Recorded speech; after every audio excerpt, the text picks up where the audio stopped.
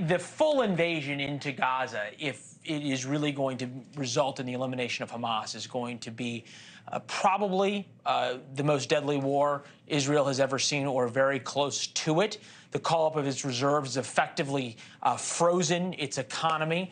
Chris Cuomo is now on the ground in Tel Aviv. Chris, uh, as you talk to Israelis uh, about their resolve on this, is there a willingness to endure the pain?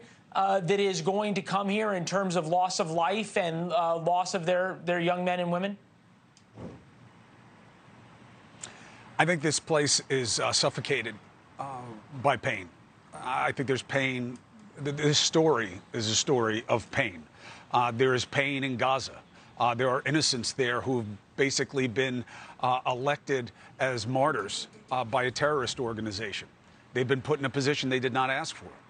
Uh, and here, they've been put in a position that they did not ask for. And the pain is everywhere. Now, look, the burden of leadership is that the Israeli government, the Israeli military can't just work on passion. There has to be a pragmatism.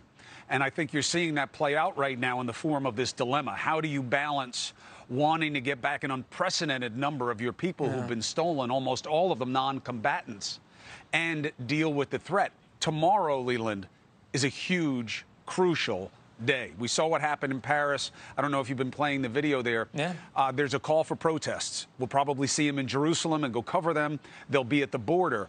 Israel cannot go in in any meaningful way with all of these protesters, essentially non combatants who could become combatants, if there's any mixing of Israeli military with them. So there has to be a hold. We have to see what happens tomorrow. Uh, the bloodshed is inevitable here. The question is for how long and in what ways?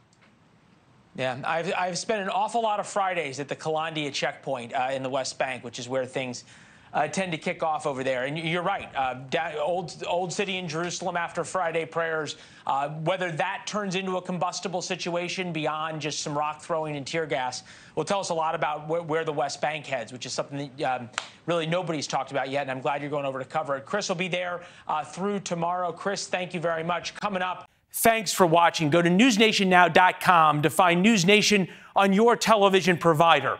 And don't forget to subscribe. Click the red button to get more of News Nation's fact driven, unbiased coverage.